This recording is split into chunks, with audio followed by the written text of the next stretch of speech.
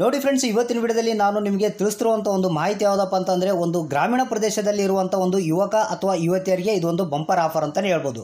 ಯಾಕಪ್ಪ ಅಂತಂದರೆ ನಿಮಗೆ ಗೊತ್ತಿರ್ಬೋದು, ಒಂದು ದೇಶಾದ್ಯಂತ ಒಂದು ಲಾಕ್ಡೌನ್ ಇರೋದ್ರಿಂದ ಭಾಳಷ್ಟು ಒಂದು ಗ್ರಾಮೀಣ ಪ್ರದೇಶದ ಯುವಕರು ಅಥವಾ ಯುವತಿಯರು ಏನಿದ್ದಾರೆ, ಬೇರೆ ಒಂದು ರಾಜ್ಯಕ್ಕೆ ಕೆಲಸಕ್ಕಂತ ಹೋಗಿದ್ರು. ಅವರು ತಮ್ಮ ತಮ್ಮ ಒಂದು ಹಳ್ಳಿಗಳಿಗೆ, ಅಂದರೆ ಗ್ರಾಮೀಣ ಪ್ರದೇಶಕ್ಕೆ ಈಗ ವಾಪಸ್ ಬಂದಿದ್ದಾರೆ. ಅಂದರೆ ಅಂಥ ಒಂದು ಗ್ರಾಮೀಣ ಪ್ರದೇಶದ ಯುವಕ ಅಥವಾ ಯುವತಿಯರಿಗೆ ಒಂದು ತಮ್ಮ ಒಂದು ಸ್ವಂತ ಬಿಸ್ನೆಸ್ ಸ್ಟಾರ್ಟ್ ಮಾಡೋಕ್ಕೆ ಒಂದು ಸರ್ಕಾರ ಏನಿದೆ ಅಂದರೆ ಪ್ರಧಾನಮಂತ್ರಿ ಮೋದಿಯವರು ಒಂದು ಉದ್ಯೋಗ ಸೃಜನಾ ಯೋಜನೆ ಅನ್ನೋದನ್ನು ಜಾರಿಗೆ ತಂದಿದ್ದಾರೆ ಅಂತಲೇ ಹೇಳ್ಬೋದು. ಅಂದರೆ ಈ ಒಂದು ಯೋಜನೆ ಅಡಿಯಲ್ಲಿ ಗ್ರಾಮೀಣ ಪ್ರದೇಶದ ಯುವಕ ಅಥವಾ ಯುವತಿಯರು ಏನಿರ್ತಾರೋ ಅವರಿಗೆ ಹತ್ತು ಲಕ್ಷದಿಂದ ಇಪ್ಪತ್ತೈದು ಲಕ್ಷದವರೆಗೆ ಸಾಲ ನೀಡಬೇಕಂತ ಒಂದು ಪ್ರಧಾನಮಂತ್ರಿಯವರು ಈ ಒಂದು ಯೋಜನೆಯನ್ನು ಜಾರಿಗೆ ತಂದಿದ್ದಾರೆ ಅಂತಲೇ ಹೇಳ್ಬೋದು. ಹಾಗಾದರೆ ಇವತ್ತಿನ ವಿಡಿಯೋದಲ್ಲಿ ನಾನು ಈ ಯೋಜನೆಗೆ ಸಂಬಂಧಪಟ್ಟಂತೆ ಸಂಪೂರ್ಣವಾದಂಥ ಮಾಹಿತಿನ ಇವತ್ತಿನ ವಿಡಿಯೋದಲ್ಲಿ ನಾನು ನಿಮಗೆ ಕೊಡ್ತೀನಿ.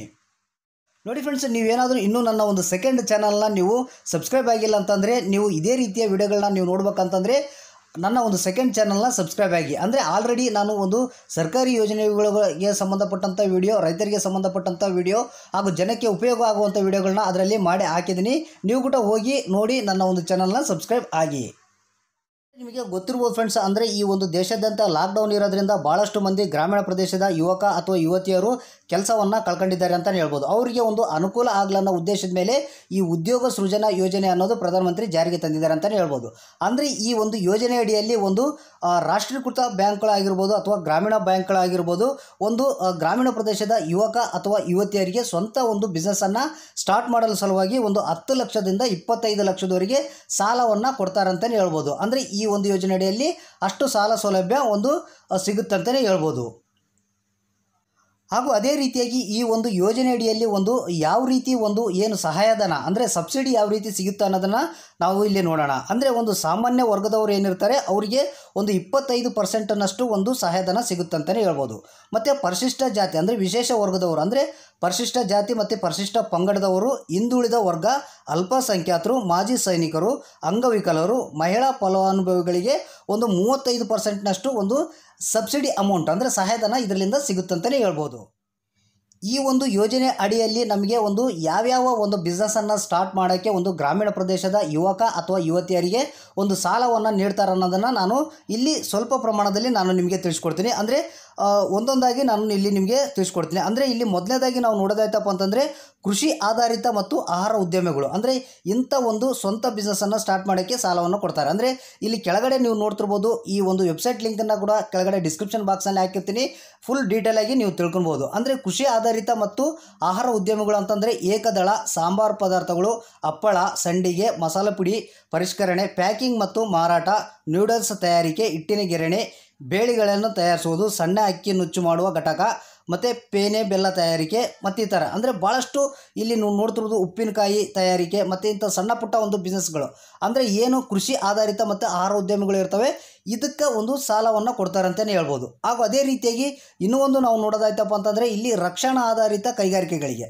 ಅಂದರೆ ರಕ್ಷಣಾ ಆಧಾರಿತ ಬಿಸ್ನೆಸ್ ಅಂದರೆ ಯಾವುದಾವಪ್ಪ ಅಂತಂದರೆ ಕೈ ಹಗ್ಗದ ಕತ್ತಳೆ ನಾರು ತಯಾರಿಕೆ, ಗೊಂದು ಮತ್ತು ರಸನಾಳಿಗೆ ತಯಾರಿಕೆ ಇಲ್ಲಿ ಹಲವಾರು ಇದ್ದಾವೆ ಬೆಂಕಿಪಟ್ಟಣ ತಯಾರಿಕೆ, ಅಗರಬತ್ತಿ ತಯಾರಿಕೆ, ಮತ್ತು ಇಲ್ಲಿ ಬಿದ, ಬಿದಿರು ಉದ್ದಿಮೆ, ಮತ್ತು ಕಾಗದದ ದೊಣ್ಣೆ, ತಟ್ಟೆ, ಕೈಚೀಲ, ಮತ್ತಿತರ ಕಾಗದದ ವಸ್ತುಗಳನ್ನು ತಯಾರಿಕೆ ಮಾಡ್ಕೋವಂಥ ಒಂದು ಬಿಸ್ನೆಸ್ಸು ಇಲ್ಲಿ ಹಲವಾರು ಈ ರೀತಿಯ ಒಂದು ರಕ್ಷಣಾ ಆಧಾರಿತ ಕೈಗಾರಿಕೆ ಬಿಸ್ನೆಸ್ಗಳು ಏನಿದ್ದಾವೆ ಅದು ಕೂಡ ಇಲ್ಲಿ ಸಾಲ ಕೊಡ್ತಾರೆ ಅಂತಲೇ ಹೇಳ್ಬೋದು.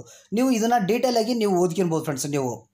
ಇಲ್ಲಿ ಅದೇ ರೀತಿಯಾಗಿ ಮೂರನೇದು ನೋಡೋದಾಯ್ತಪ್ಪ ಅಂತಂದರೆ ಪಾಲಿಮರ್ ಮತ್ತು ರಾಸಾಯನಿಕ ಆಧಾರಿತ ಉದ್ಯಮಗಳು. ಅಂದರೆ ಈ ರೀತಿಯ ಒಂದು ಬಿಸ್ನೆಸ್ಗಳು ಯಾವ್ಯಾವಪ್ಪ ಅಂತಂದರೆ ಇದರಲ್ಲಿ ಬರುವಂಥ ಬಿಸ್ನೆಸ್ಗಳು ಯಾವಪ್ಪ ಅಂತಂದರೆ ಗೃಹ ಚರ್ಮದ ಅಂದರೆ ಚರ್ಮ ಸುಲಿಯುವುದು ಚರ್ಮ ಮಾಡುವುದು ಗೃಹ ಸಾಬೂನು ಉದ್ದಿಮೆ ರಬ್ಬರ್ ವಸ್ತುಗಳ ತಯಾರಿಕೆ ರೆಕ್ಸಿನ್ ಮತ್ತು ಪಿ ವಿ ಸಿ ಉತ್ಪನ್ನಗಳ ತಯಾರಿಕೆ ಇಲ್ಲಿ ಹಲವಾರು ಮೇಣದಬತ್ತಿ ಕರ್ಪೂರ ಆ, ಪ್ಲಾಸ್ಟಿಕ್ ಪ್ಯಾಕಿಂಗ್ ಮಾಡೋದು ಇವೆಲ್ಲ ಇದರಲ್ಲಿ ಬರ್ತಾವಂತಲೇ ಹೇಳ್ಬೋದು. ಮತ್ತು ಅದೇ ರೀತಿಯಾಗಿ ಇಲ್ಲಿ ಸೇವಾ ಉದ್ಯಮಿಗಳು ಅಂದರೆ ಇದರಲ್ಲಿ ನೋಡೋದಾಯ್ತಪ್ಪ ಅಂತಂದರೆ ಸೈಕಲ್ ಅಸೆಂಬಲಿ, ಎಂಬ್ರಾಯ್ಡರಿ ಅಲಂಕಾರ, ಬಟ್ಟೆಗೆ ಎಂಬ್ರಾಯ್ಡ್ರಿ ಮಾಡುವುದು, ಅಲಂಕಾರ, ಸಿದ್ಧ ಉಡುಪುಗಳ ತಯಾರಿಕೆ, ಮತ್ತು ಇಲ್ಲಿ ನೋಡ್ತಿರ್ಬೋದು ಟೈಲರಿಂಗು, ಮತ್ತು ಬಾಟಿಕ್ ಕೆಲಸ, ಮತ್ತು ಸ್ಟವ್ ಬತ್ತಿಗಳು, ಆಟದ ಸಾಮಾನುಗಳು, ಗೊಂಬೆಗಳ ತಯಾರಿಕೆ. ಇಲ್ಲಿ ಹಲವಾರು ಈ ರೀತಿಯ ಒಂದು ಸೇವೋದ್ಯಮಿಗಳಲ್ಲಿ ಬರ್ತಾವಂತಲೇ ಹೇಳ್ಬೋದು. ಅಂದರೆ ಇಷ್ಟು ನಾಲ್ಕು ಥರದ ಒಂದು ಏನು ಸ್ವಂತ ಉದ್ಯೋಗಗಳನ್ನ ನೀವು ಮಾಡ್ಬೇಕಂತ ಇರ್ತಾರೋ ಅದಕ್ಕೆ ಒಂದು ಹತ್ತು ಲಕ್ಷದಿಂದ ಇಪ್ಪತ್ತೈದು ಲಕ್ಷದವರೆಗೆ ಈ ಒಂದು ಯೋಜನೆ ಅಡಿಯಲ್ಲಿ ಸಾಲ ಕೊಡ್ತಾರಂತಲೇ ಹೇಳ್ಬೋದು.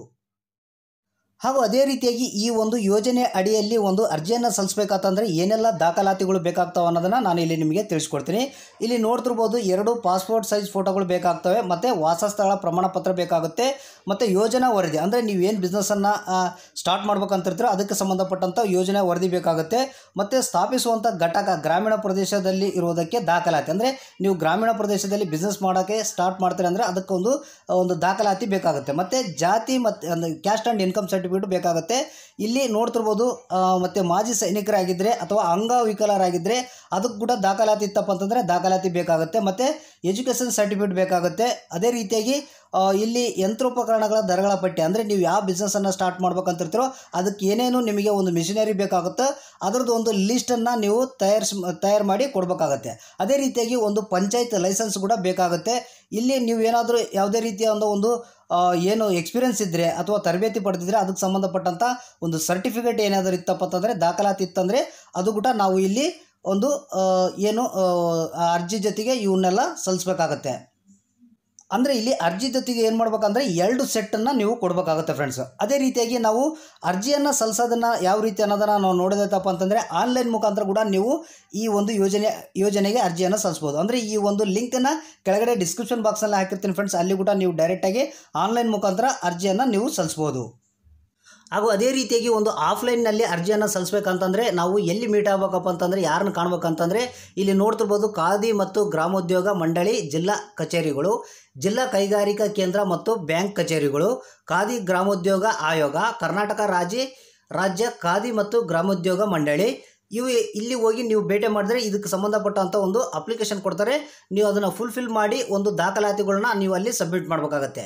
ಹಾಗೂ ಅದೇ ರೀತಿಯಾಗಿ ಇಲ್ಲೊಂದು ಕೆಲವೊಂದು ಮೊಬೈಲ್ ನಂಬರ್ ಕೂಡ ಕೊಟ್ಟಿದ್ದಾನೆ. ಆ ಒಂದು ಮೊಬೈಲ್ ನಂಬರ್ಗೆ ನೀವು ಫೋನ್ ಮಾಡಿ ನಿಮ್ಗೆ ಏನೇ ಒಂದು ಡೌಟ್ ಇತ್ತಪ್ಪ ಅಂತಂದ್ರೂ ಕೂಡ ನೀವು ಬಗೆಹರಿಸ್ಕೊಬೋದು.